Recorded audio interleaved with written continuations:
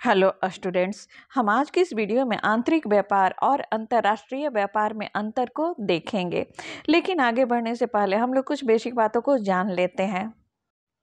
जब वस्तुओं और सेवाओं का विनिमय या आदान प्रदान लाभ प्राप्त करने के उद्देश्य से किया जाता है तो उसे व्यापार कहते हैं। व्यापार दो प्रकार का होता है। फ़र्स्ट, अंतर्राष्ट्रीय व्यापार, सेकंड, आंतरिक व्यापार। जब वस्तुओं और सेवाओं का विनिमय या आदान प्रदान किसी राष्ट्र की भौगोलिक सीमा के भीतर किया जाता है तो उसे आंतरिक व्यापार या इंटरनल ट्रेड या अंतर क्षेत्रीय व्यापार कहते हैं।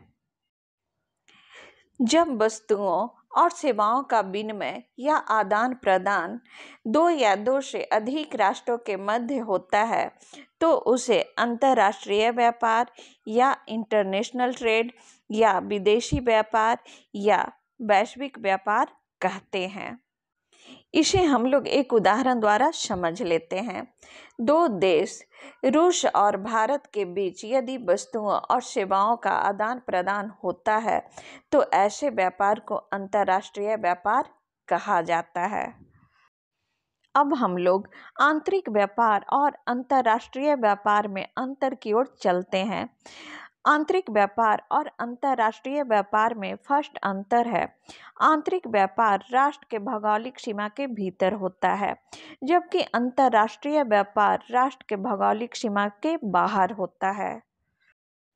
नेक्स्ट अंतर है आंतरिक व्यापार में श्रम और पूंजी एक क्षेत्र से दूसरे क्षेत्र में स्वतंत्र रूप से स्थानांतरित होते हैं, जबकि अंतर्राष्ट्रीय व्यापार में श्रम और पूंजी एक देश से दूसरे देश में आसानी से नहीं जाते। आंतरिक व्यापार और अंतर्राष्ट्रीय व्यापार में नेक्स्ट अंतर है।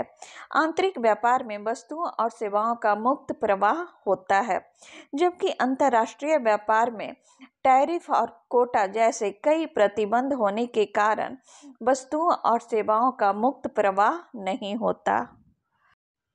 नेक्स्ट अंतर है। आंतरिक व्यापार में एक सामान्य मुद्रा होती है, जबकि अंतर्राष्ट्रीय व्यापार में मुद्राएँ अलग अलग होती है।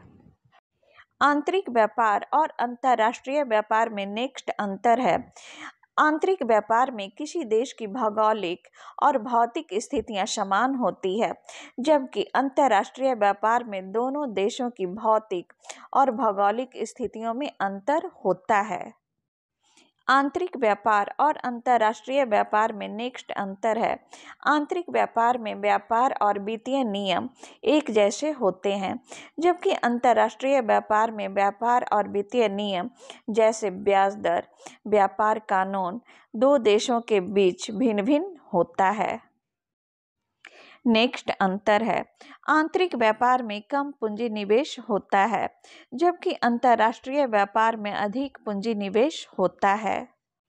नेक्स्ट अंतर है। आंतरिक व्यापार के लिए गुणवत्ता मानक अंतर्राष्ट्रीय व्यापार की तुलना में कम होता है। इसी के साथ मेरा आज का वीडियो समाप्त होता है। मेरा आज का वीडियो कैसा लगा प्लीज़ कमेंट करके बताएँ। हम लोग फिर मिलेंगे नए वीडियो में। तब तक के लिए नमस्कार।